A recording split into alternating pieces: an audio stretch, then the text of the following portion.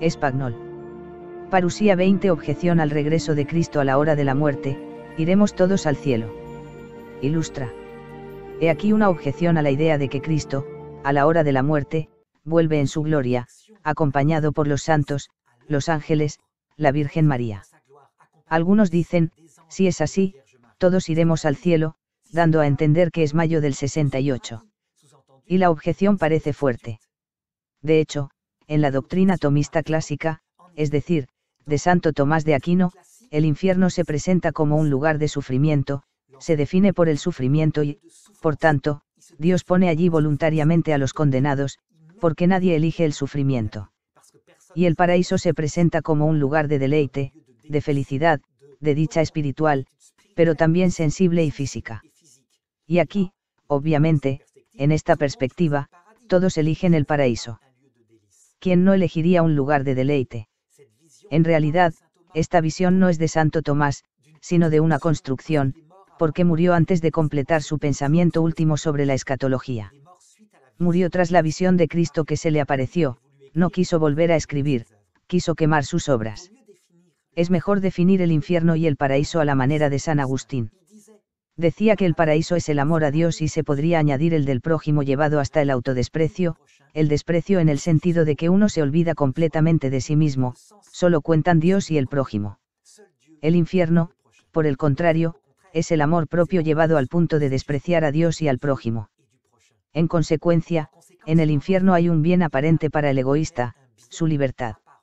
Su libertad para elegir el bien y el mal, para ser autónomo, para ser libre, y en el paraíso, por el contrario, hay un mal para el orgulloso y el egoísta, a saber, ser dependiente, olvidarse completamente de sí mismo. Así que la realidad es que si Cristo aparece a la hora de la muerte y vemos, al verlo en su gloriosa humanidad, lo que es el paraíso, y si el diablo aparece y nos muestra a plena luz lo que es el infierno, pues no todos iremos al paraíso. La realidad es que hay seres que desprecian instantáneamente este paraíso de Cristo, y que nunca, jamás, querrán un orden basado en la humildad, donde el más grande es el más pequeño.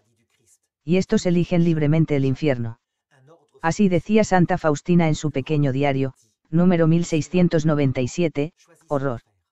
Hay almas que voluntaria y conscientemente rechazan esta gracia de la venida de la luz en la hora de la muerte, la desprecian, y ya es el momento mismo de la agonía. Estas almas son tan duras de corazón que eligen conscientemente el infierno, frustran no solo todas las oraciones que otros hombres dirigen a Dios por ellas, sino también todos los esfuerzos divinos. En realidad, en este nuevo enfoque teológico traído por Marte Robin, por Santa Faustina, por el Papa Benedicto XVI, no debemos tener miedo de Dios, él no es de repente otro, que se mostraría estrictamente justo, Él es el mismo, la verdad y el amor en Él se han unido. Es de nosotros mismos de lo que debemos tener miedo, porque nuestro egoísmo nos hará inclinarnos hacia el infierno, mientras que todo lo que es amor en nosotros, el amor humano, dice Jesús, nos hará inclinarnos hacia Cristo. Todo hombre de buena voluntad va hacia Cristo. Así que será una batalla de Armagedón en nuestra alma, una verdadera lucha, y viniendo con toda la humildad, la ganaremos para el cielo. Quiero decir que si vienes dispuesto a reconocer tus pecados, lo ganarás para el cielo.